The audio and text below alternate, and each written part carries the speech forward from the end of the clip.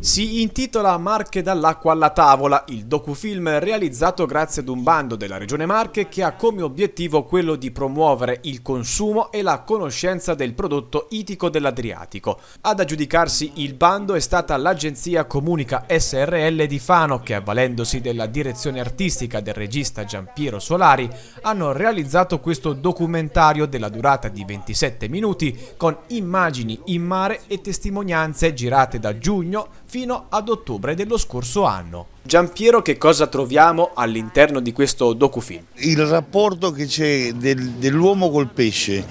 con il sapore del pesce e si trova veramente la qualità che c'è nelle Marche e soprattutto nell'Adriatico del trattare il pesce che viene pescato.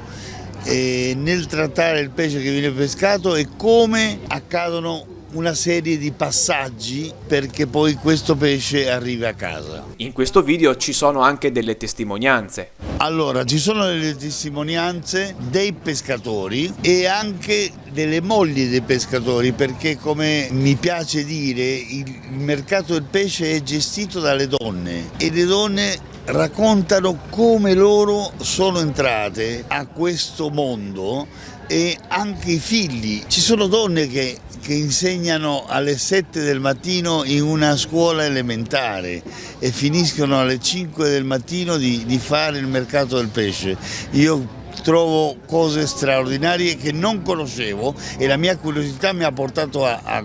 questo io credo che questa curiosità ci richiamerà in tutto questo docufilm. Presenti nel docufilm anche lo chef di rilievo nazionale Mauro Uliassi che ha parlato del valore e delle caratteristiche del pesce pescato nell'Adriatico e l'Istituto Superiore Pranzini dove gli studenti hanno realizzato menù a tema. Il progetto ha visto il coinvolgimento dei porti di Ancona, Senigallia, Fano, Pesaro, Civitanova Marche e San Benedetto del Tronto. Queste filiere vanno rafforzate, facendo conoscere, facendo promo promozione, comunicazione, perché questo documentario che parla della filiera del, del, mare, dalla pesca notturna alla ristorazione, alla scuola professionale, siamo una regione che ha una quantità di eh, chef stellati, di ristoranti di, di, di eccellenza che sono davvero una filiera gastronomica, però non rischiamo di perderla perché dal lato l'Europa ci chiede di diminuire lo sforzo di pesca ma non dà una soluzione di continuità e quindi molti imprenditori della pesca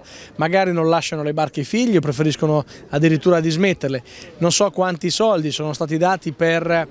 la dismissione delle barche da pesca, quindi riduciamo la quantità di prodotto sul mercato e contemporaneamente però l'assurdo è che nei nostri ristoranti, nei mercati ittici, nei supermercati arriva il pesce da fuori Europa, quindi questo è un po' l'assurdo che vive questo settore. Da questo film io mi auguro che i marchigiani lo possano condividere sui loro social e facciano in modo che diventi un motivo di orgoglio